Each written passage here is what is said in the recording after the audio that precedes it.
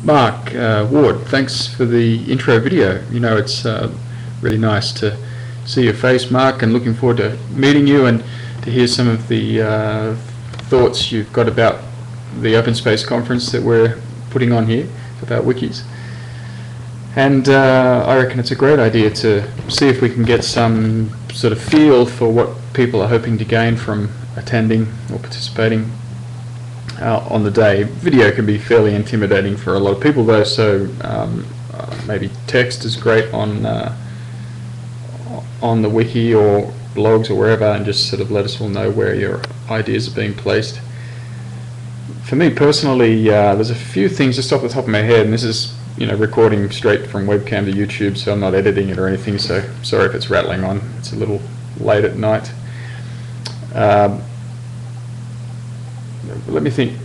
One thing, one real thing I want to try and discuss is the process of creating uh, books in Wiki. I've done it a few times myself on Wikibooks and uh, processed the content through to um, a lulu.com service. I'm yet to actually follow through on the PediaPress feature that's been added to the uh, Wikimedia Foundation um, uh, wikis. I'm interested in that process because I think it's got some fairly tangible benefits um, to educational institutions and a lot to offer uh, in terms of their their educational practices. For example, one of our um, academics here at the University of Canberra, James Neill, uh, teaches psychology. He, he asked his students rather than write an essay on a particular topic uh, to do for your, your unit of study, select a um, item from this contents page and write to that and together we'll write the first textbook um, on motivation and emotion or the psychology of motivation and emotion in the Australian context. And uh, they're ordering their first PediaPress um, sometime in the coming weeks. Yeah, three months they produce something like a 1200 page uh, book, uh, probably more like three books if, once they break it down. Uh, so I'm really interested in that idea and experiences around that. I'm also probably more so interested in what it takes to develop a community of practice at the University of Canberra or Canberra wi more widely around the use of wikis. Again, for uh, learning benefit or network learning, educational benefit, and things like that.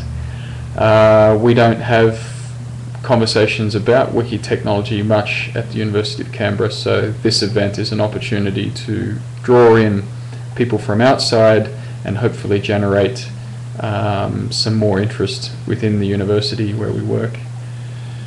Um, perhaps thirdly too is uh, something that's always slightly troubled me about wiki projects that I've been, the ones that involve large numbers of people, that is, the small projects such as I've done on Wikispaces and things like that, are not so afflicted by it.